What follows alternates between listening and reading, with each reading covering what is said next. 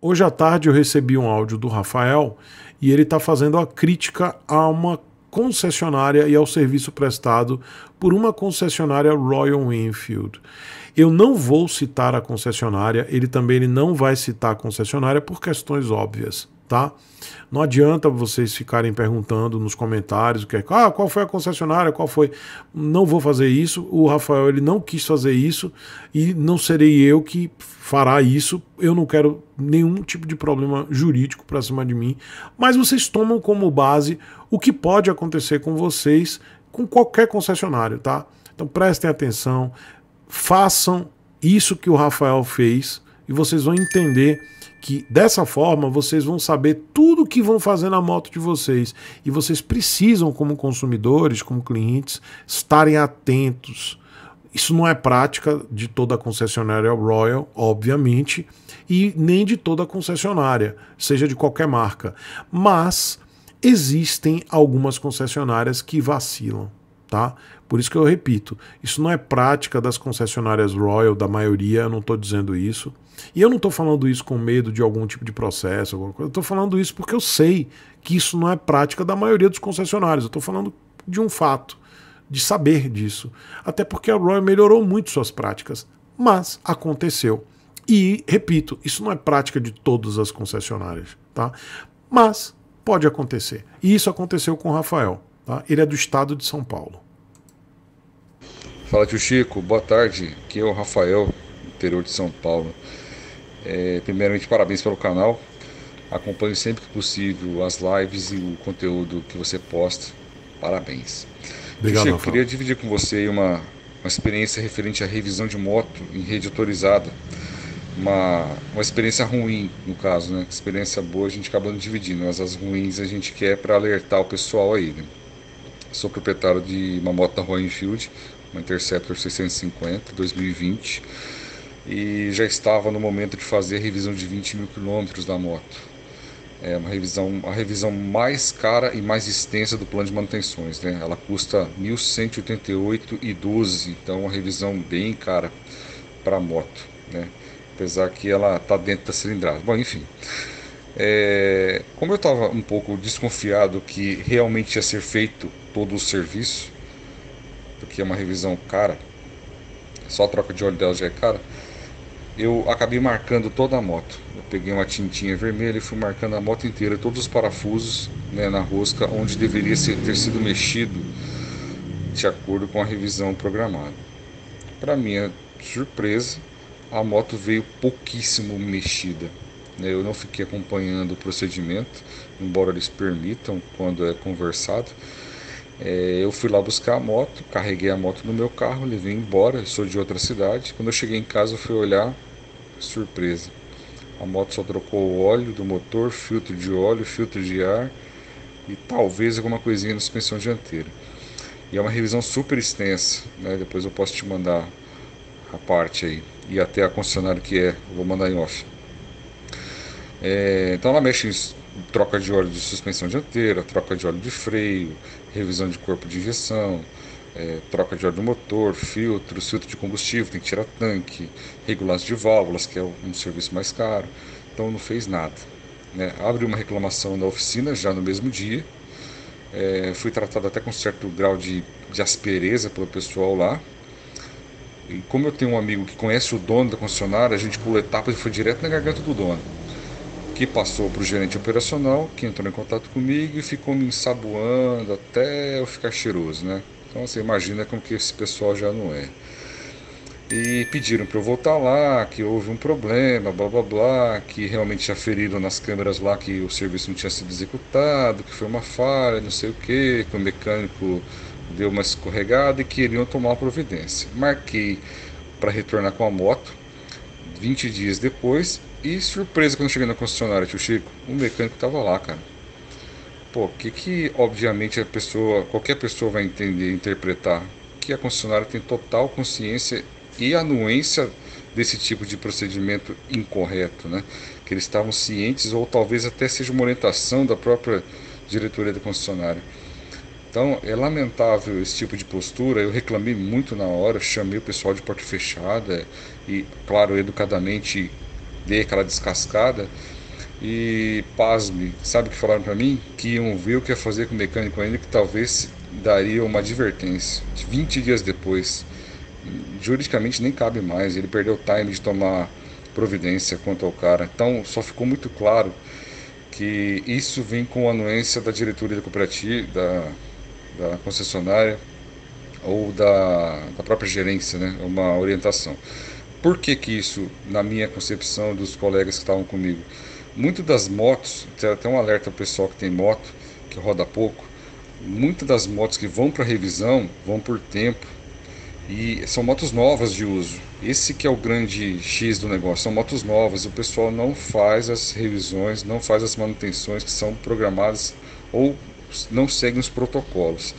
Então, gostaria de alertar é, para os usuários né, das concessionárias, seja quais forem, viu? Isso aí deve ser, deve ser geral, não só da própria Royal, deve ser geral isso daí. Pessoal, acompanhem as revisões, se possível, marquem as motos, tomem cuidado, não façam algumas marquinhas em locais específicos e confiram, porque é dinheiro jogado fora e é uma baita sacanagem. Tio Chico, valeu, obrigado por tudo, um abraço.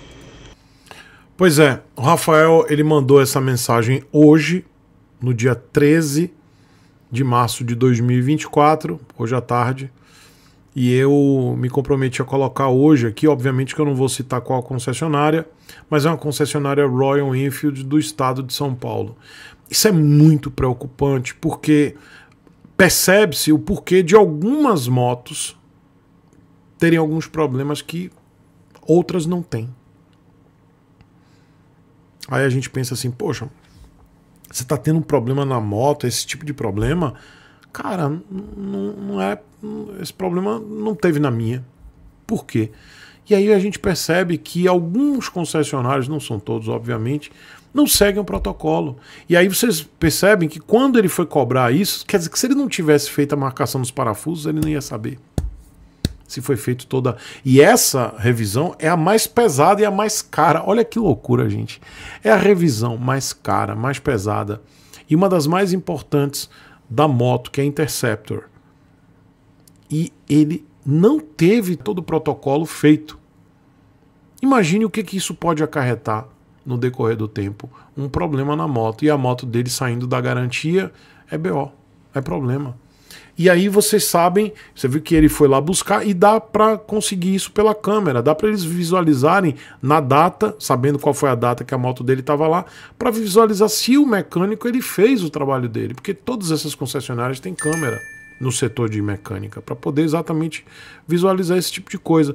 E vocês percebem que a concessionária ela sequer tomou uma atitude em relação ao mecânico. Então, problema é que o mecânico está lá, continua lá e você não vai saber se a sua moto vai continuar tendo isso, porque a concessionária ela não tomou nenhuma atitude. Isso é extremamente preocupante. Extremamente preocupante. Isso me preocupa porque, cara, isso é, e aí fica o alerta para Royal Enfield Brasil para fazer um, uma uma reflexão em relação à capacitação dos mecânicos.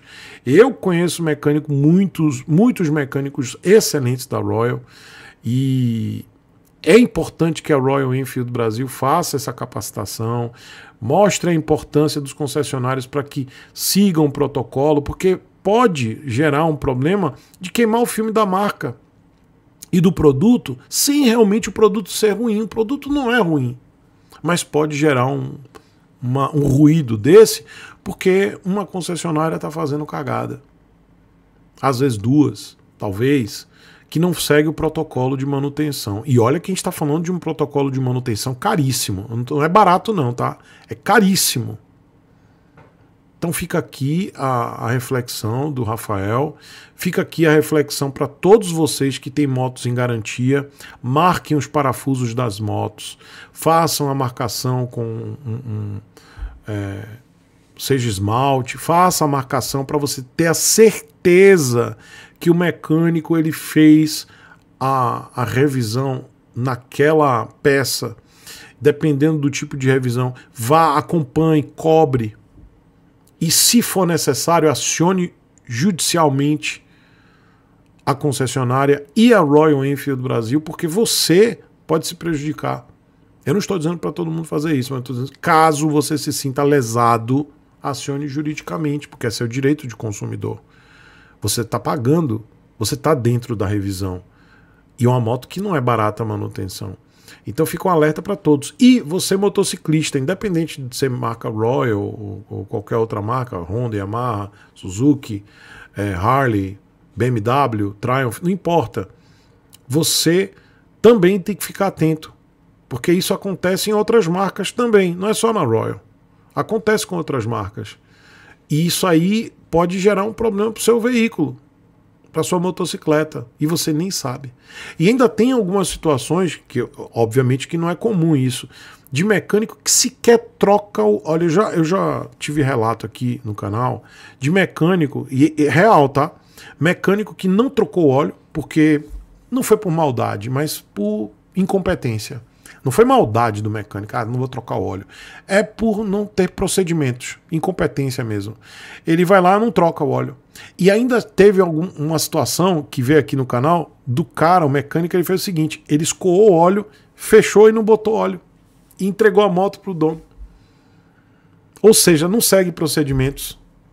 E a própria concessionária não faz um, um procedimento padrão, né? Aí o que, que o mecânico fez? Ele foi lá, escoou o óleo, fechou, não botou óleo e entregou. Deu zerda.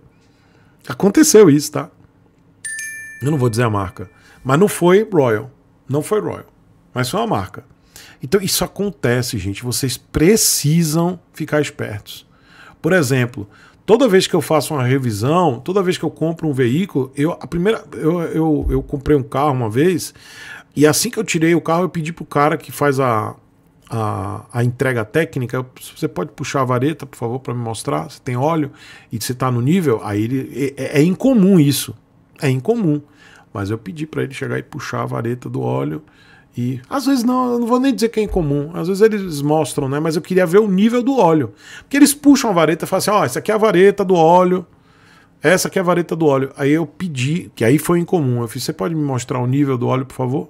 Por gentileza? Aí ele, claro, aí ele foi lá, pegou um, um paninho, né, um pano descartável, foi lá e puxou a vareta, limpou e me mostrou o nível do óleo. Tá no nível, beleza.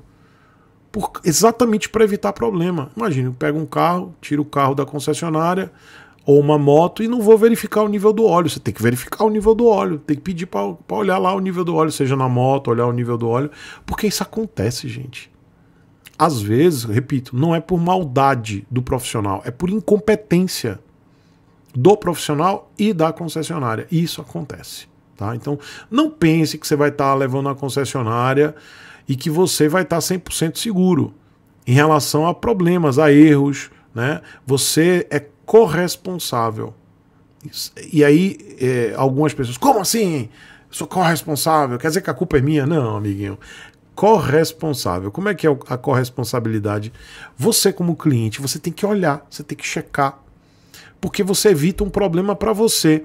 E qual é o problema para você? É o desgaste de você ter que entrar com ação, levar tempo para resolver, a dor de cabeça, contratar advogado.